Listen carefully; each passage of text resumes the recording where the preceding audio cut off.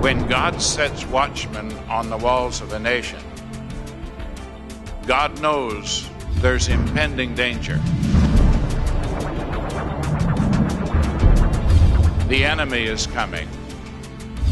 And the watchman was designed to watch carefully, night and day.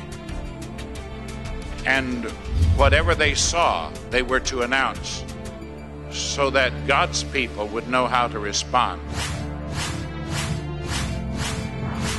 What if God were saying, and I believe He is, I've set watchmen on your walls, O America.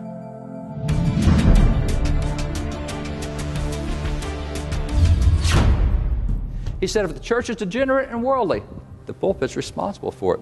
He said, if the world loses its interest in religion, the pulpit's responsible for it. He said, if Satan rules in our halls of legislation, the pulpit's responsible for it. He says, if our politics become so corrupt that the very foundations of our government are ready to fall away, the pulpit is responsible for it.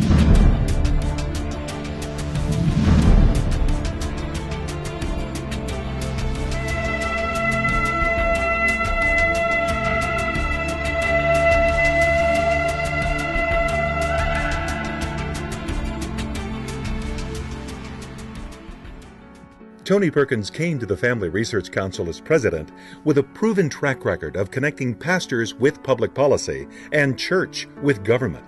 As a state legislator in Louisiana and author of the nation's first covenant marriage law, Tony noticed that there were many pro abortion and anti family groups lobbying the legislators, but there were very few people of faith pleading for biblical morality.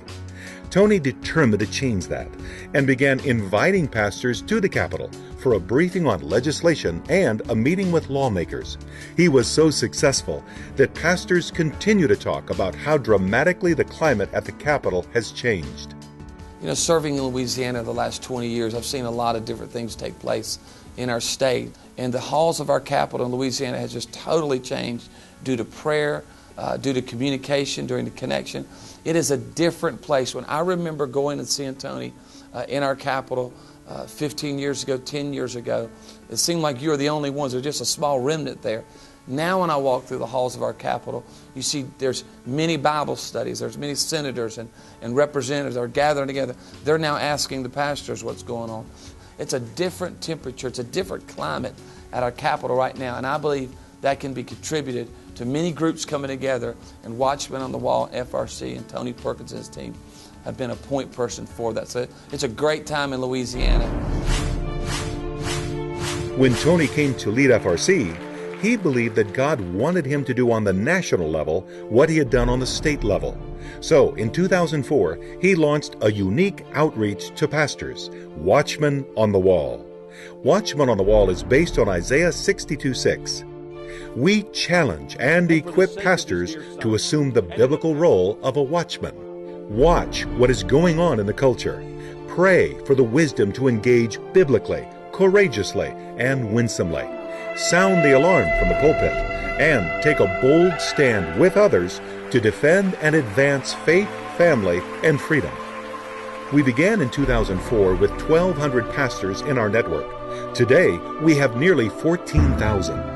But Tony's vision is for the Watchmen on the Wall pastors to be a tipping point in our nation.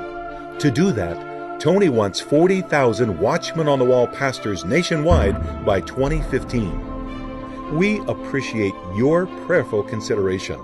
Would you become one of America's 40,000 Watchmen on the Wall pastors? Joining our network means you're willing to take a stand in your community and do the following 1. Pray for our nation. 2. Preach on moral issues from a biblical perspective. And 3 partner with at least three pastors for prayer and united action in your community, your state, and our nation. To join the Watchman Network, please visit watchmenpastors.org and click on Count Me In. When you do, we will provide everything you need to get started. And as part of our network, we will stand with you as you advance faith, family, and freedom in your community. With God's help, we can transform America.